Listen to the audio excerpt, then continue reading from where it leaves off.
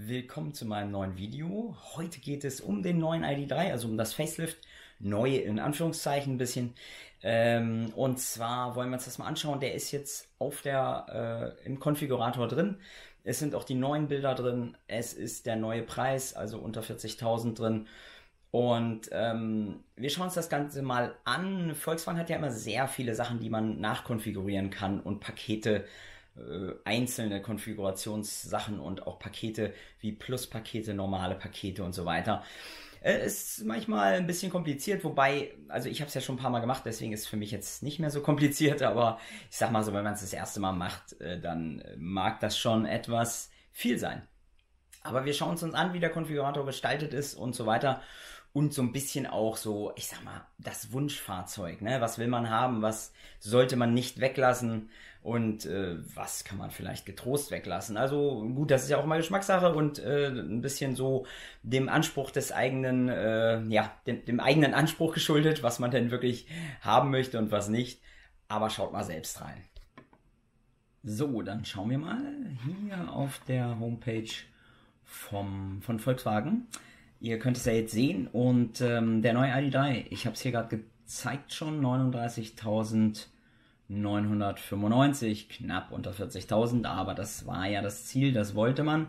Man kann gleich schwenken zur großen Batterie, da kostet der aber schon ja, natürlich mit mehr Serienausstattung 47.595. Und ganz ehrlich, nach meiner Erfahrung, ihr habt es ja gesehen, ihr habt es miterlebt, wenn ihr schon länger dabei seid, wenn ihr neu seid, ähm, ja, ich bin schon über 30.000 Kilometer gefahren und die 58 Kilowattstunden Batterie ist für mich völlig ausreichend. Ja, aber das ist natürlich auch so, dass, ähm, ja, dass ich dann auch jemand bin, der sich vor 10 Minuten mehr Pause nicht scheut, sondern ich empfinde das eigentlich als relativ entspannend. Also schauen wir mal. Hier haben wir erstmal die Serienausstattung und äh, da können wir halt sehen, was gibt's denn schon. Also es gibt eine Dachleiste, Lufteinlässe, äh, Lufteinlässe Schweller in Kontrastfarben, es gibt hier schon äh, drei Rücksitze, Rücksitzlehne asymmetrisch geteilt, umklappbar mit Mittelarmlehne, Durchlademöglichkeit. Also das war vorher keine Serie, weil ihr könnt es in meinem Auto sehen. Guckt euch einfach irgendein Video an, ich verlinke vielleicht mal ein paar hier. Ähm, dann könnt ihr ein Video angucken, wo das Auto zu sehen ist und dann seht ihr, bei mir ist die Rücksitzbank nicht geteilt. Schon geteilt, aber nicht äh, dreifach und hat keine Durchlademöglichkeit. Also es ist schon mal mehr Ausstattung, als es vorher gab ähm, Infotainment-Displays, Bedienelemente in schwarz eingefasst, Make-up-Spiegel, Mittelkonsole beleuchtet, Multifunktionslenkrad, äh, Ledernachbildung, genau, es ist kein Leder mehr, das hatte ich euch in dem, dem Facelift-Video schon gezeigt. Pedale in Edelstahl, Play-Pause ist jetzt Serie. Gab es vorher nicht, ist jetzt Serie. Äh, Sittel, Sitz, Siddel, Siddel, Sitzmittelbahnen, der Vordersitz und der Äußer- und Rücksitz Plätze in Stoffvordersitze mit Höheneinstellung. Wichtig auch Fahrerassistenten. Abbieg-, Bremsfunktion und Ausweichunterstützung, Einparkhilfe, Warnsignale bei Hindernissen mit Front- und Heckbereich, also ist klar. Gab es vorher auch. Notbremsassistent, Spurhalteassistent, Verkehrszeichenerkennung. Hat sich nichts geändert in der Serienausstattung. Äh, 4 plus 1 Lautsprecher, lasst euch nicht täuschen, habe ich auch genommen letztes Mal und habe mir gedacht, ja, vier Lautsprecher, also zwei vorne, zwei hinten. Einer ist noch irgendwie plus eins und Subwoofer oder keine Ahnung. Ähm, ja, nee, täuscht euch nicht, die sind alle vorne. Also das ist nicht ganz so gut, finde ich. Also da sollte man ein bisschen Aufwertung machen. App Connect, digitaler Radioempfang. Also hier hat sich auch, soweit ich das sehen kann, nichts geändert. Klimatronic, Klimaanlage also auch nichts geändert. Schlüsselloses Starten, Wärmeschutzverglasung, ist alles gleich geblieben äh, ja, auch LED-Leuchten und so weiter und so weiter. Also hier hat sich nichts geändert, außer die Sachen, die ich euch gerade erwähnt habe. Jetzt können wir das Ganze mal weiter mit der Konfiguration einmal noch durchspielen. Also ich nehme jetzt mal, ich sag mal, wenn ihr eine andere Farbe nehmen wollt, dann seht ihr hier als Beispiel jetzt mal blau. Ähm, dann habt ihr hier einen Aufpreis äh, von 700 Euro, 710 Euro oder 9,59 Euro im Monat bei Lease and Care. So, dann geht es schon zu den Rädern. Hier habt ihr äh, standardmäßig die Stahlräder. Ich sag mal so, muss man sich, muss man sich anschauen, gefällt mir das, gefällt mir das nicht. Ansonsten alternativ die Alufelgen, die ich immer genommen habe. Und ähm, da zahlt ihr natürlich auch einen Aufpreis. Oder? Moment, muss nochmal zurück. War da ein Aufpreis? ja, war auch ein Aufpreis. 9,25 Euro im Monat oder halt dann die 705 Euro. Interieur. Also hier könnt ihr äh, diese, diese Sitze hier haben, die schon viel besser aussehen, ehrlich gesagt, als meine, muss ich ehrlich sagen. Und ja, Standardsitze. Da gibt es natürlich ganz viele Meinungen. Den meisten Leuten ähm, reicht das aus, aber es gibt hier noch äh, Komfortsitze, ähm, Ergoaktiv Sportsitze und zwar sehen die folgendermaßen aus. Wir machen jetzt mal kurz übernehmen, dann zeige ich euch das. Sind, sind die, habt ihr bestimmt schon in den Videos gesehen. Sehr, sehr schöne Sitze, gefallen mir sehr gut, ist mir aber keine 4180 Euro wert. Das sage ich euch mal gleich, das äh, auf keinen Fall. Also übernehmen, wir nehmen wieder den Standard. Es gibt dann noch Interieurpaket Dunkel, 2400, ähm, kostet das dann 2500 so. Ist es mir ehrlich gesagt nicht wert. Für Sitze, mh, mm, die Sitze sind sehr, sehr bequem und ja, deswegen weiß ich nicht, äh, warum ich das nehmen sollte. Dann 2680 Euro ähm, gibt es Förderung. Die nehmen wir natürlich in dem Paket, dann Exterieurpaket und zwar IQ Lite würde ich euch auf jeden, auf jeden Fall empfehlen, das IQ Lite zu nehmen. Das ist das LED Matrix Licht. Das habe ich jetzt nicht gehabt, aber beim nächsten wird es auf jeden Fall dabei sein. Und dann gibt es noch das Exter Exterieurpaket Plus Panoramadach. Sehr schöne Sache. Gefällt mir sehr, sehr gut. Brauche ich aber nicht. Also hier würde ich zum Beispiel auch meine Empfehlung, lasst es weg. Also Panoramadach ist schön, sieht toll aus, aber ganz ehrlich, dafür 3300 Euro meine persönliche Meinung. Alles heute nur meine persönliche Meinung. Nicht aufregen, es ist alles gut. Ihr könnt das nehmen, ihr könnt das auch sehr schön finden. Ich finde es auch sehr schön, aber würde mir nicht reichen. Hier nochmal die Interieurpakete. Habe ich euch schon gesagt, textile Fußmatten, ja. 125 Euro, das sind die, wo auch ID3 draufsteht. Die sind sehr schön. Würde ich dazu nehmen für 1,69 im Monat mehr, sage ich mal so. Ist das etwas, das kann man sich aber auch überlegen. Wenn man das nicht braucht, kann man sich selber irgendwelche bei Amazon oder irgendwo kaufen. Dann gibt es die Assistenzpaketen und zwar gibt es einmal äh, Einpacken durch unsere Rückfahrkamera, Assistenzsysteme erleichtern natürlich den Alltag, schlüssellose Schließ- und Startsysteme. Das ist so das normale Assistenzpaket.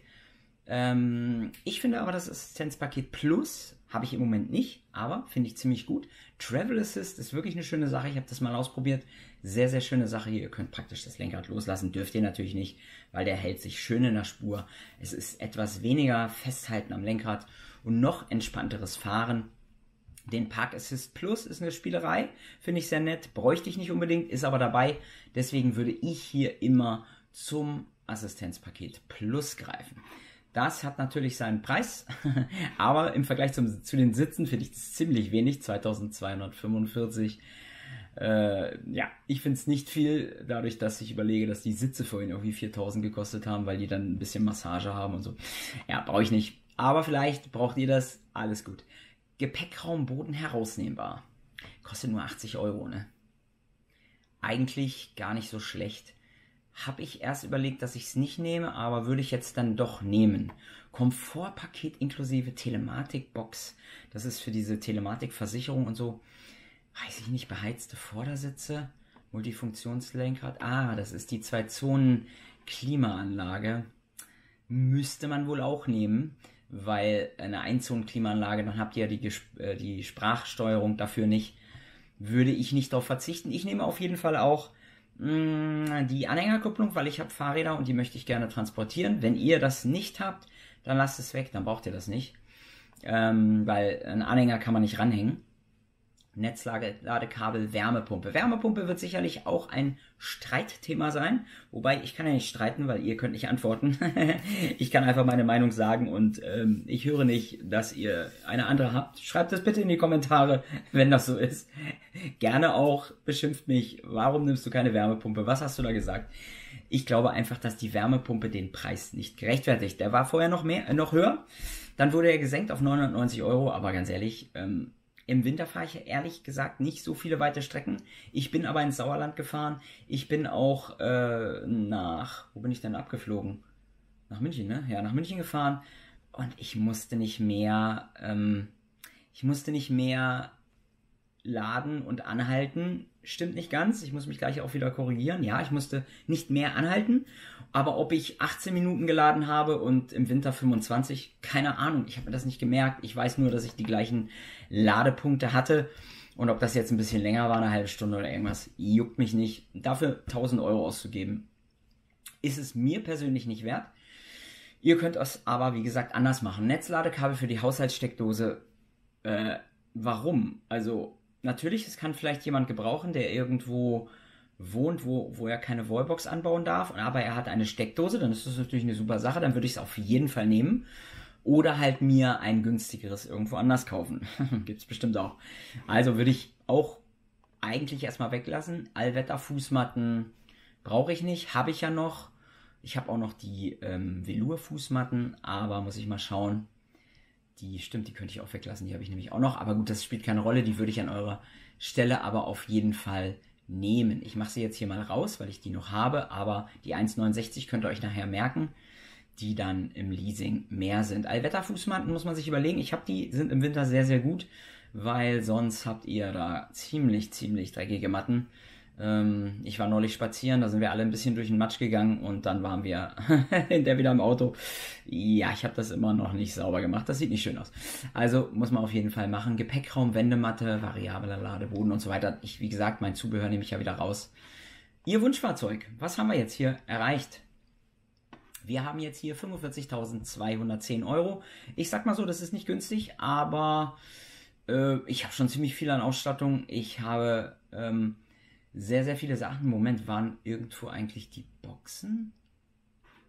Ähm, ja, die habe ich jetzt nicht gesehen. Also, falls ihr irgendwo entdeckt habt, dass man ein besseres Soundsystem nehmen kann, dann könnt ihr ja mir nochmal Bescheid sagen. Vielleicht habe ich das übersehen, aber dafür will ich jetzt nicht neu äh, konfigurieren. Also meine Konfiguration, wenn ich das machen müsste, wäre 45.210 Euro oder 475 Euro 13. Das ist ganz schön viel. Also ob ich das dann letztendlich wirklich bestelle, das werden wir sehen. Ob ich nicht noch das eine oder andere weglasse, einfach weil es mir zu teuer ist. Ja, aber 45.210 ist für mich aus meiner Sicht gerechtfertigt für dieses Auto. Er hat übrigens jetzt eine Angabe von 423 Kilometer Reichweite nach WLTP. Gut, alles klar. Sie, äh, ihr seht jetzt euer Speicher, äh, euer, äh, euer Speicher, Speicher? Wie komme ich auf Speicher? Ach so, weil mein Speicher gleich leer ist. Ähm, ihr seht euer Sparpotenzial. Wo, wo würdet ihr eher was konfigurieren? Wo würdet ihr eher was weglassen? Was ist so eure Wunschkonfiguration? Habt ihr euren ID3 vielleicht gerade schon konfiguriert? Freut ihr euch schon auf euer neues Auto? Wie ist euer Stand? Habt ihr schon lange einen ID3? Und äh, was habt ihr von dem, was ich rein konfiguriert habe, jetzt schon drin? Was wollt ihr später dazu nehmen und habt ihr jetzt noch nicht? Also wie gesagt, sowas interessiert mich alles. Ich finde das super, super spannend. Und ich denke auch andere Leute, die lesen sich die Kommentare durch und schauen, hey, was nehmen die anderen so und was ist wirklich sinnvoll und was haben sie für Erfahrungen gemacht. Alles klar, das war's heute von, mein von meinem Video. heute bin ich ein bisschen am Stottern. Ich habe keine Ahnung, was los ist. Ich danke euch fürs Zuschauen und schaltet wieder ein nächste Woche Sonntag. Ciao, ciao.